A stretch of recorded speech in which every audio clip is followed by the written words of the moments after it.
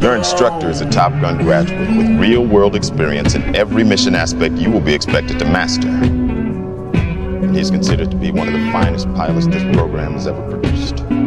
I give you Captain Pete Mitchell, call sign Maverick.